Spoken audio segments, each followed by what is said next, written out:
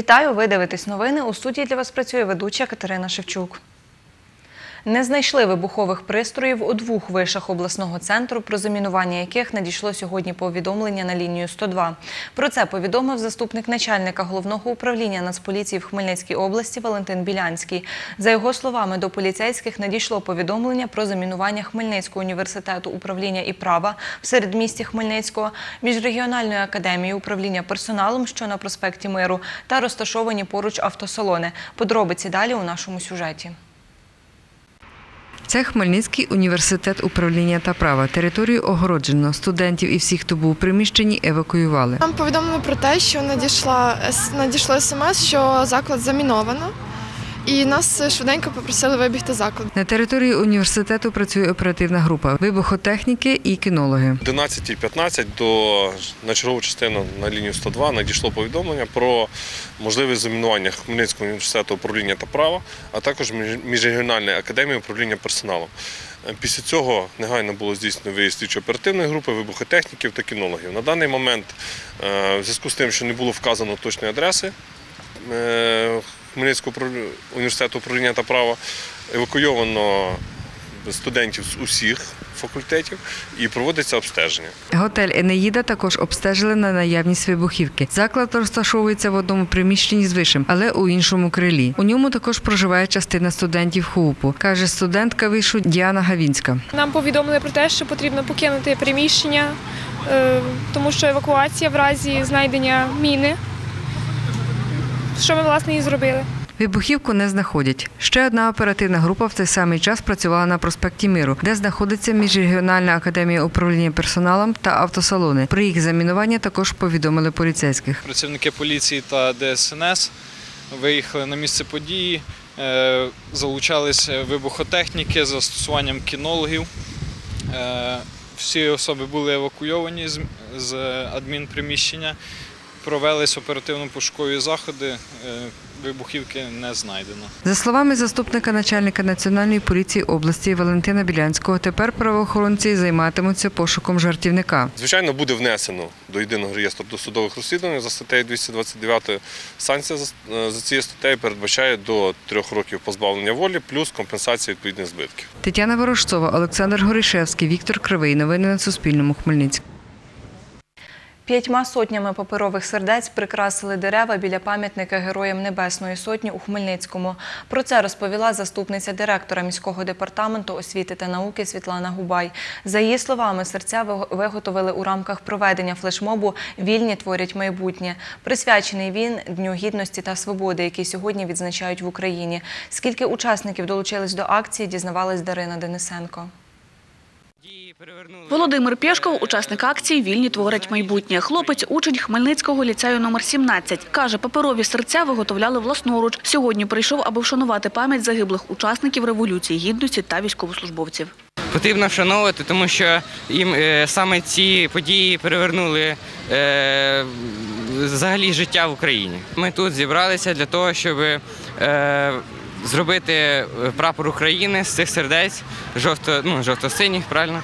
Е, на цих серцях е, написано імена е, наших е, воїнів. Крістіна Туранська участь у акції, присвяченій Героям Небесної Сотні, взяла вперше. Паперове серце, яке дівчина тримає у руці, виготовила власноруч разом із однокласниками. Чому обрала прізвище Нігоян, пояснює так. Сергій е, ну, він був е, іншої е, національності, е, але він е, також брав участь у цьому, у цьому.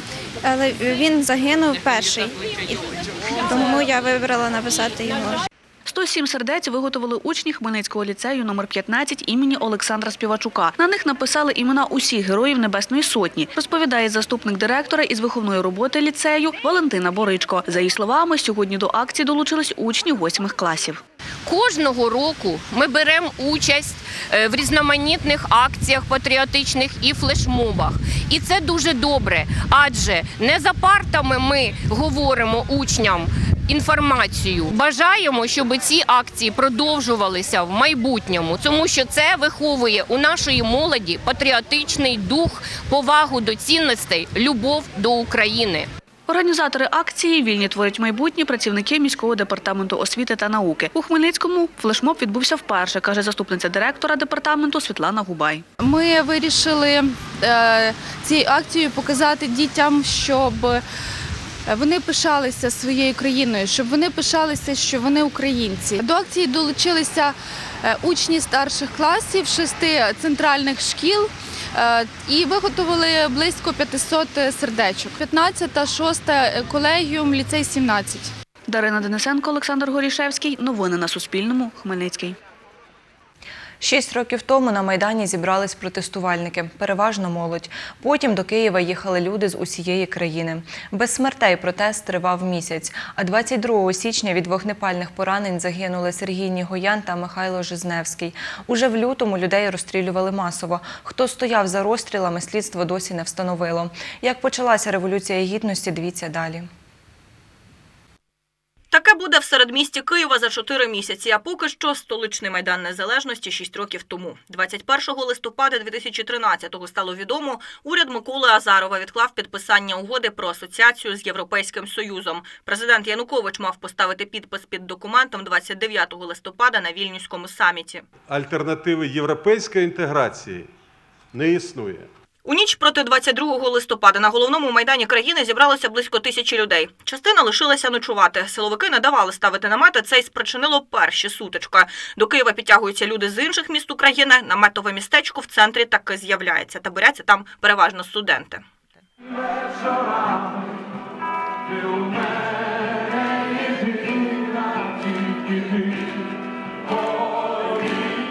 24 листопада на акцію вийшло вже близько 100 тисяч людей. 28-го студенти оголосили загальний страйк. А наступного дня Янукович так і не підписав угоди про асоціацію. На вечірньому вічі протестувальники заявили, вимагають дострокових виборів у раду. Уночі силовики пішли на людей з кийками. Комунальники мали встановити на майдані новорічну ялинку. Потім пояснив тодішній міський голова Олександр Попов.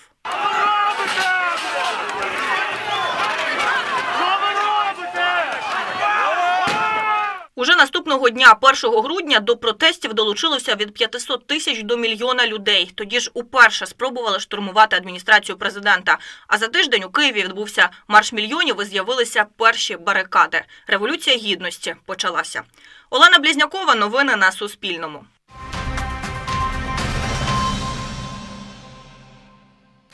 Ступінь тяжкості завданих травм псу Барсику, відео з яким розповсюдили хмельницькі зоозахисники в соціальних мережах, встановлювати- встановлюватимуть харківські експерти.